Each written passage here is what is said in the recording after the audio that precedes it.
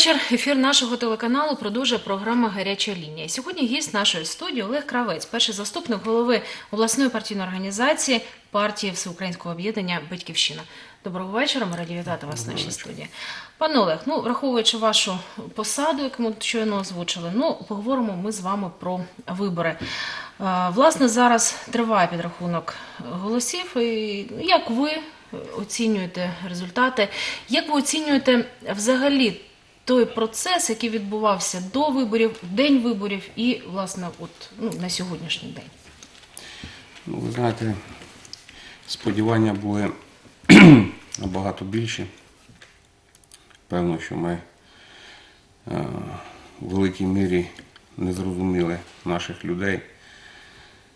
Можливо, люди не зрозуміли, що відбувається в Україні, тому що те, що сьогодні задекларували ці вибори, це сьогодні є безпрецедентним в деяких моментах те, що надали знову кредит довіри тим людям, які довгий час грабували цю країну,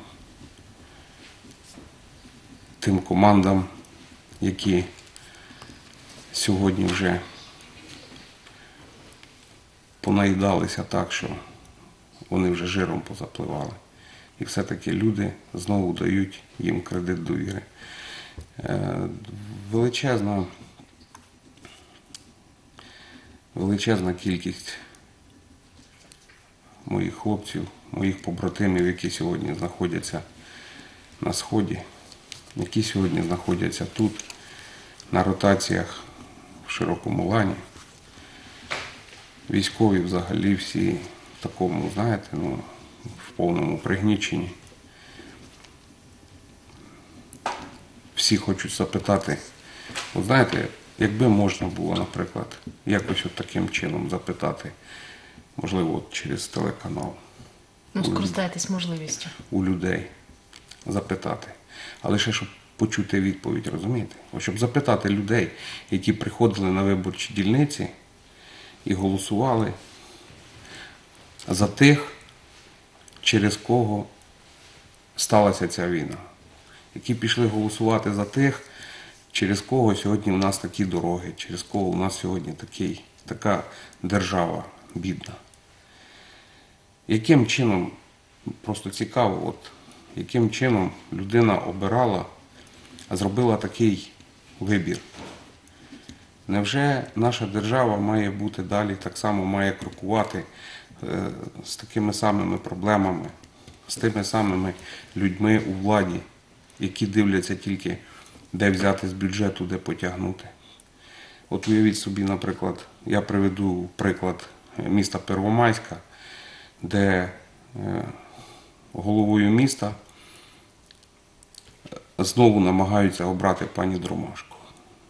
Це та пані, яку три рази за руку ловили на корупційних схемах. Це та людина, яка сама собі виділяла землю. Це та людина, яка під, під замовлення викликала Беркут, який людей бив. Це та людина, яка під замовлення якої фальшувалися вибори неодноразово. І сьогодні знову дивишся, знову ця людина набирає,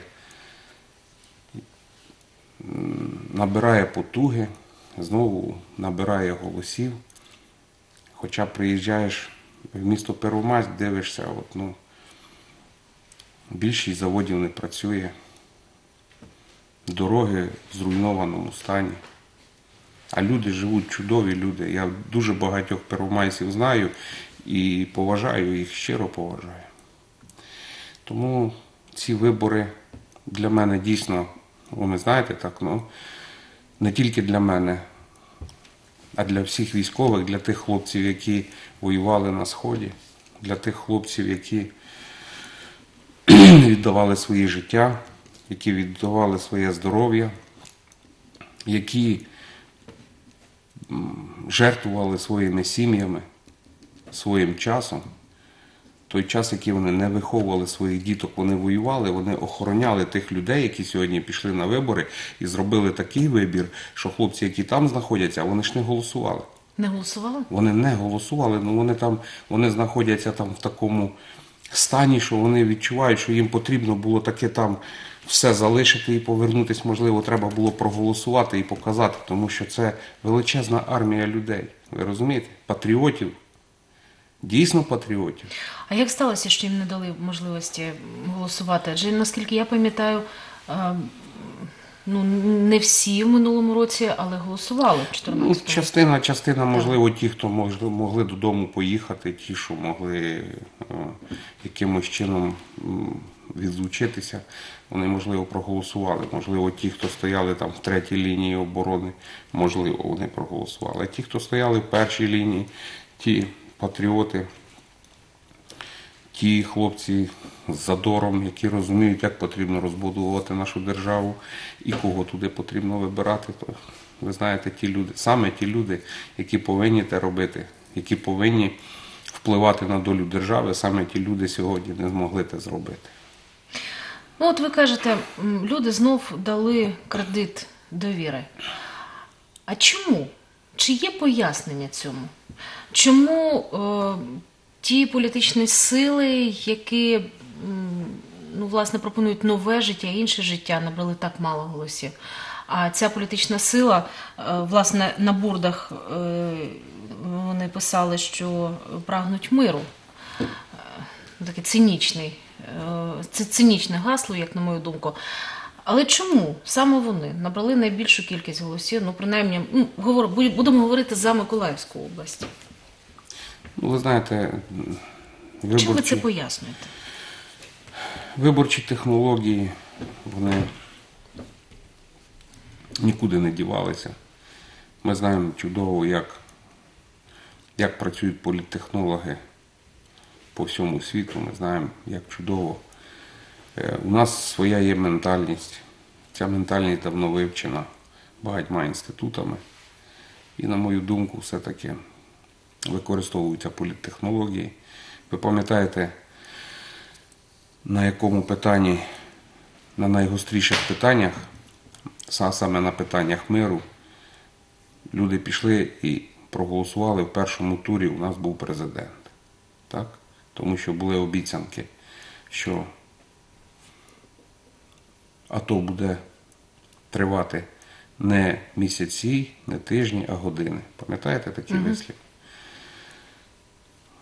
Так само і тут теж грають на таких на самих сокровенних почуттях людей, б'ють по самому найбольнішому. І оці борди повернемо мир на нашу землю. Ну, ви знаєте, це, звісно, що да, це доволі таки цинічно. Я коли ходив, дивився на ці борди, ну, мені було дуже боляче, мені особисто. Тому що повернемо мир на нашу землю. Ну, це мали бути, мабуть, соціальна мала бути реклама. Але ніяк не реклама політичної партії. Це не може бути гаслом політичної партії, яка багато в чому винна саме в тому, що цей мир з цієї землі пішов, і хто його забрав, і навіщо його забирав. У нас немає, найголовніше, у нас немає державницьких програм, у нас немає соціальної реклами. У нас, подивіться по місту, у нас жодного борда соціальної реклами, на якому було б написано, на якому б, наприклад, ми людей навчали чомусь. У нас немає того. Натомість у нас маса політичної реклами. І ви подивіться, що оця, вже так лукавенько скажу, партія бігбордів. Знаєте, от хто кого найбільше на бігбордах є, от дивишся, що дійсно люди починають цих людей взнавати. І починаєш з Ну, технологи ж кажуть, що це найефективніша реклама борди. так, так. Але вона дуже ефективна. Але давайте порахуємо, наприклад, для партії Батьківщина ми не змогли такої кількості видати бордів, тому що ми допомагали і солдатам, атошникам допомагали, і допомагали їхнім сім'ям, і організовували різні, різні міроприємства. ну, не завжди в нас виходило такі шалені кошти тратити на цю рекламу. Тим паче, що ми більше, ми більше патріотична партія, яка, не, яка не є там, наприклад, ну, якимось бізнес-проєктом, розумієте? Тому, можливо, у нас з цим питання виникли певні. І наш е, кандидат на посаду мера Олександр Гриценко, він, він не мелькав на кожному борді, на кожному Може, варто було йому частіше десь Ну, з'являтися? Справа в тому, що він займався дуже серйозними речами. Він займався е, припиненням видобутку незаконного піску. Він займався е, незакон, припиненням незаконного прийому металолому і металобрухту і так далі. Ну, він займався серйозними речами, але якби е, рядовий Миколаївець, він хоче, щоб така людина показувала себе на борді, і тоді йдуть за нього і голосують.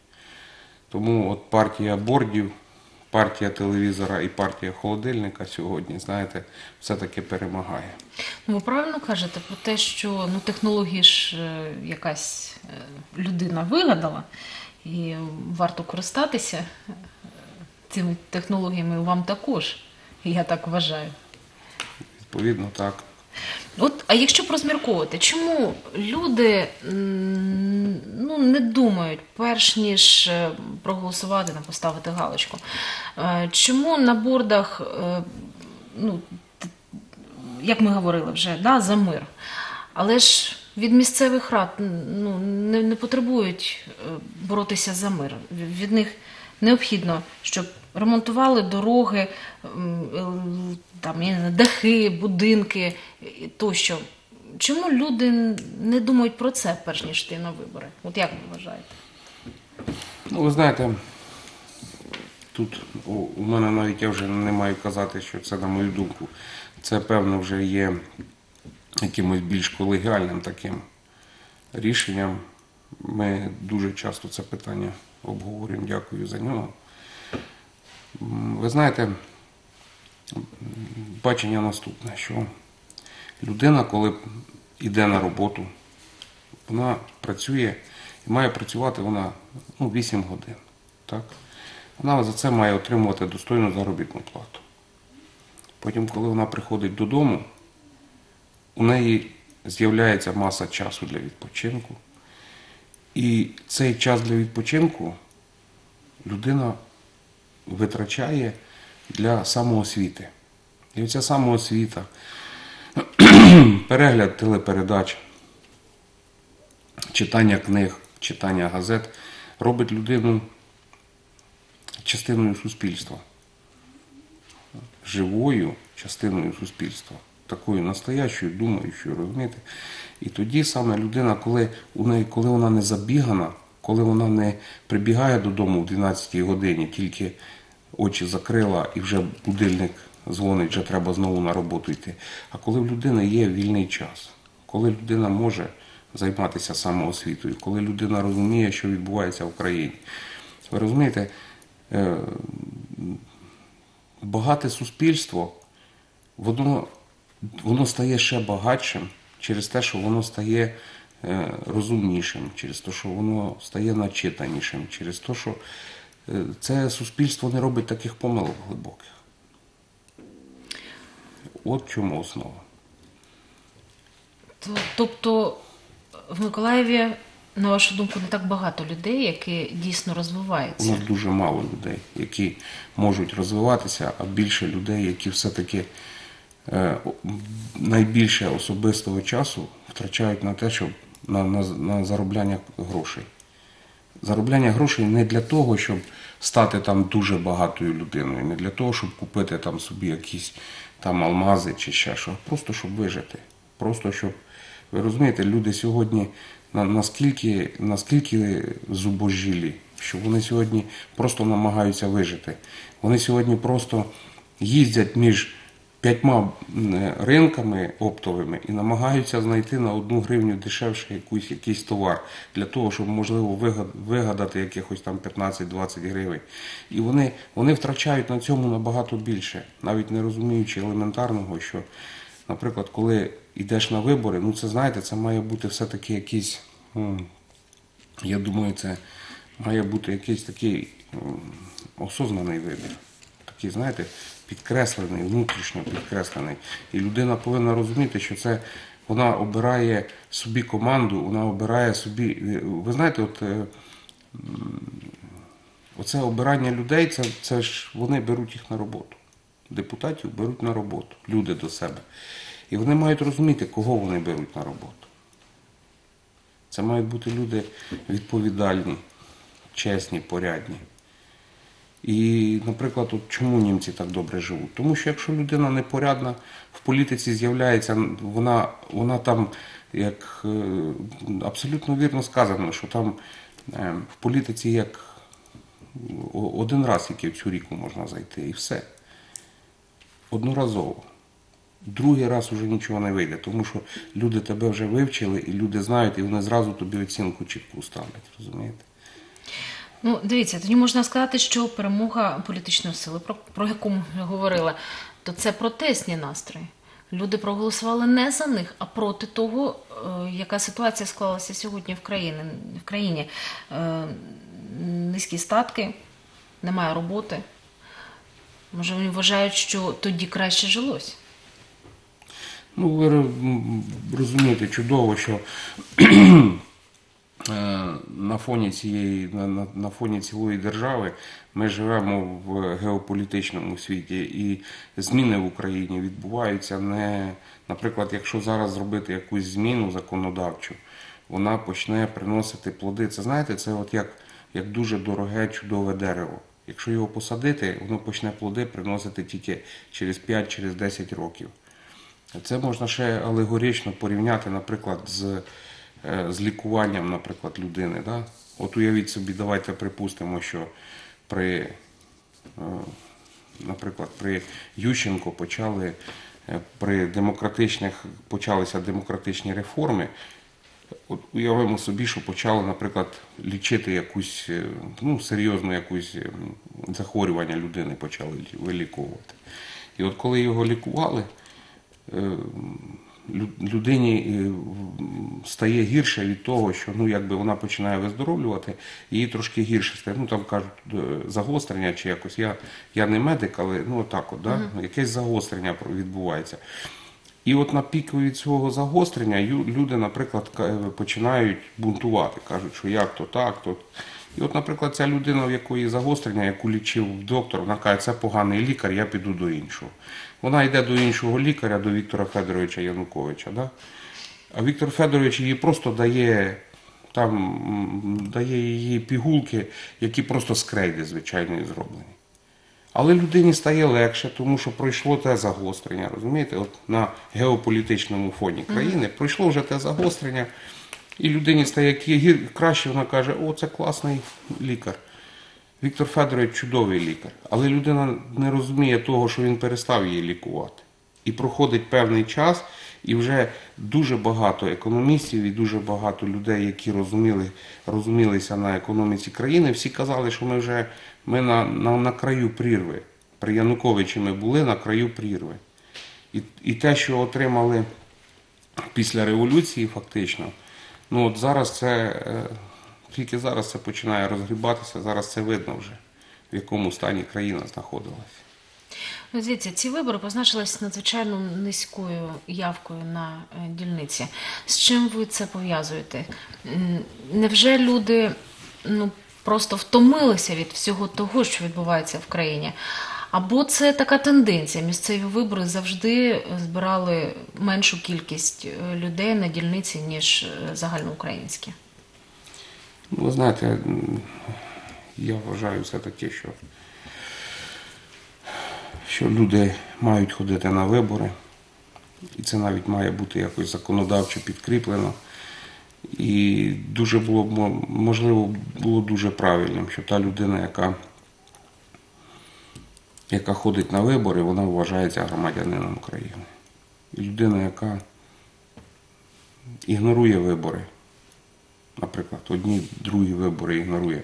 Можливо, до цієї людини треба відноситися до, напівгромадянина.